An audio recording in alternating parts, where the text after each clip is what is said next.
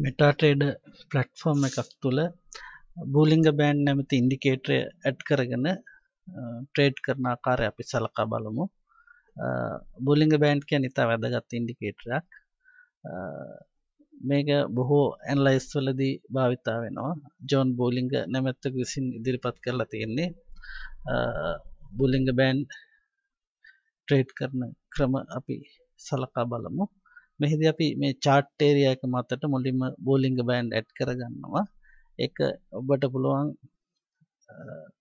ඉන්ඩිකේට නෙවිගේට වල තියෙන ඉන්ඩිකේට ස්වලින් ඇඩ් කරගන්නත් පුළුවන්. එහෙමනැත්තම් මේ ඉන්ඩිකේට ප්ලස් ලකුණ මත කලික් කර එතන ට්‍රෙන්් ට්‍රෙන්ඩ් වලදී බුලිංග බෑන්් කලික් කිරීමෙනුත් ඇඩ් කරගන්න පුළුවන්. එතකට ඔබට එනවා මේ විදිහේ ඩයිලොක් බොක්සයක් මෙතනදී අපි සම්මත සැකසුම් පාවිච්චි කරන්නත් පුළුවන්. නැත්තං අපිට යම් වෙනස්කම් කරගන්නත් පුළුවන්. මේ වගේ මේ ලෙවල් සහ විසුවලයිෂන් සේෂන් වෙනස් කිරීම අවශ්‍යයෙන් හැම් පැරමිටස් වලදිත් සම්මත සැකසුම විස්ස බින්දුව දෙක කියන එක ඇප්ලයිට පලෝස් දාන්නේ.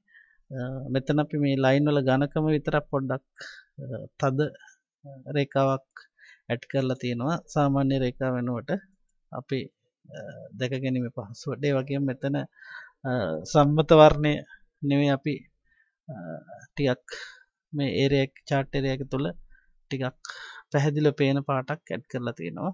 ඒ විදිහට ඕකේ කරපහම ඔබට දැක්ගන්න පුළුවන් මේ විදිහේ රේකා තුන. මේ රේකා සමූහතම බෝලිංග බෑන්ඩ්ස් විදිහට හඳුන්වන්නේ. එතන මේ බෑන්ඩ්ස් කියන මේ රේකා එතකොට ඔබට දකින්න පුළුවන් මේ චාට් ඒරියා එක තුල මේ කැනල් ආවරණය කරමින් රේකා තුනක් ගමන් කරනවා මේ බෝලිංග බෑන්ඩ් එක. මේ බෝලිංග බෑන්ඩ් වල ඉහළින්ම යන රේඛාව හඳුන්වනවා අප බෑන්ඩ් කියලා. ඒ වගේම බෝලිංග ඒ රේඛා සමූහයේ පහළින්ම ගමන් කරන රේඛාව හඳුන්වන්නේ ලෝවර් බෑන්ඩ් කියලා. ඒ දෙක අතරින් මිඩල් බෑන්ඩ් යනවා. එහෙමනම් අප බෑන්ඩ් මිඩල් බෑන්ඩ් සහ ලෝවර් බෑන්ඩ් විදිහට බෝලිංග මේ බෑන්ඩ්ස් තුන හෙවත් රේඛා තුන හඳුනා ගන්න පුළුවන්. දැන් මේ බෑන්ඩ්ස් හෙවත් මේ රේඛා අතරේ තමා මේ කැන්ඩල්ස්ටික් chart එක ගමන් කරලා තියෙන්නේ.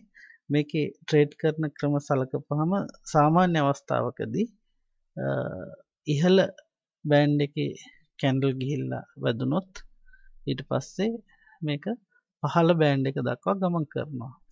පහළ බෑන්ඩ් එක හෙවත් ලෝ බෑන්ඩ් එකේ මේ කැන්ඩල්ස්ටික් ස්පර්ශ වුණොත් එතනින් පස්සේ නැවත ඉහළට යනවා මේ ඉහළ පහළ රේඛා අතර ගමන් කිරීමක් තමයි සාමාන්‍ය අවස්ථාවලදී සිදුවෙන්නේ.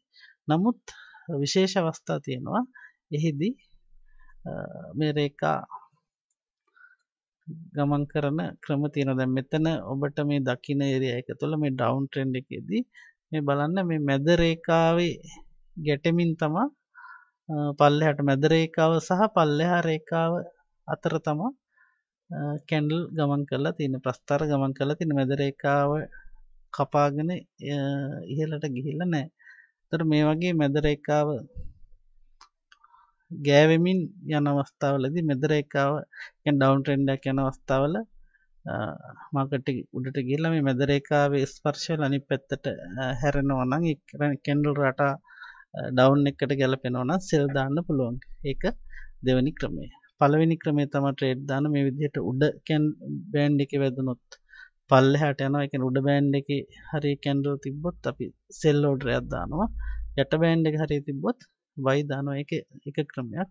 දෙවනික් තමම් මේ කිවේ ඩවන් ට්‍රෙන්ඩ් හෝ අප්ටෙන්ඩ් එකදී කැන්ඩල් මැද බෑන්් එක ස්පර්ශ කරමින් යනවනම් එටෙන්ඩ එක යන පැත්තටම ට්‍රේඩ් දාන්නට පුළුවන්. තවත් ඊළඟ අවස්ථාව තම මෙන්න මේ වගේ. මේ බෑන්් තුන එකින එක ලංවන අවස්ථාව. අප බෑන්් මිඩල් බෑන් ලෝ බෑන් මෙතනදී මිඩල් බෑන් එක අස්සලටම එනවා දෙපැත්තෙන් තෙරපෙනවා. ඇගිලි දෙකින් අල්ලල මේ රේකා දෙක මැදට තද කරා වගේ තම අපට මේ දකිින් හම්බෙන මේ රූප සට්ටහනේ මේ ඒරිය එක. දර මේ විදිහට මේ රේකාතුන එකන එක ලංවෙච්ච අවස්ථාවල කැන්ඩල් ගිහිල්ලා උඩ රේඛාවක වැදුනොත් එහෙම නැත්නම් උඩ බෑන්ඩ් එක කපාගෙන එළියට කැන්ඩල් ගමන් කරොත් එක කැන්ඩලයක් හරි ගමන් කරොත් ඒකේ අදහස් තමයි මෙතනින් එහාට බ්‍රේක් අවුට් එකක් ඒ කියන්නේ විශාල පොයින්ට් ගානක් එක් දිශාවකට යනවා ගිය පැත්තට යන උඩට යනවා මේ අවස්ථාවේදී නම්. ඒ වගේම තමයි මේ විදිහට මේ රේඛා එකිනෙක ලං වෙච්ච අවස්ථාවක කැන්ඩල් ගිහිල්ලා පල්ලෙහා බෑන්ඩ් එකේ හෙවත් ලොව බෑන්ඩ් එකේ ටච් වුණොත් එහෙම ඒක ස්පර්ශ වුණොත් එතනින් පල්ලෙහාට තමයි විශාල කඩා වැටීමක් නැත්නම් බ්‍රේක් අවුට් එකක් සිද්ධ වෙන්නේ. එතකොට ඒ ගැළපෙන අවස්ථානුව ඔබට පුළුවන් බයි සහ සෙල් දාන්න. මෙතනදී ගත්තොත් එහෙම ඔබට පේනවා මේ ලයින් තුන එකිනෙක ලං වෙලා තියෙනවා කැන්ඩල් ගිහිල්ලා උඩ බෑන්ඩ් එකේ ස්පර්ශ වෙලා එකෙන් එළියටත් ඇවිල්ලා තියෙනවා. ඒ වගේ මේ වගේ අවස්ථාවක බයි එකක් දාන්න පුළුවන්. එතකොට මෙතනදී විශාල බයි ඕඩ් එකක් විශාල බයි එකක් ගිහිල්ලා තියෙනවා. ඒ ආකාරයට පුළුවන්. අනිත් ක්‍රමය තමයි බොලිංග බෑන්ඩ් වල මෙන්න මේ මිඩල් බෑන්ඩ් එක හෙවත් මැද රේඛාව පදනම් කරගෙන ට්‍රේඩ් දැමීම. එතකොට මැද රේඛාව කපාන කැන්ඩල් එක පල්ලෙහාට ගියොත් යට රේඛාව හම්බෙන තුර යනවා.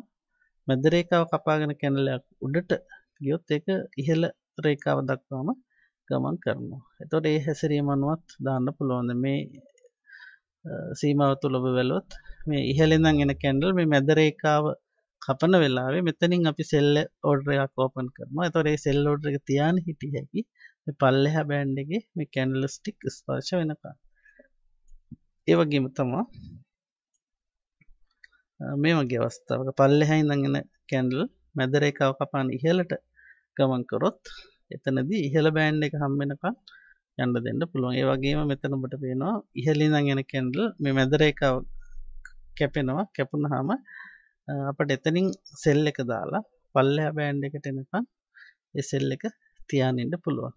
ඉතින් මේ ආකාරයට විවිධ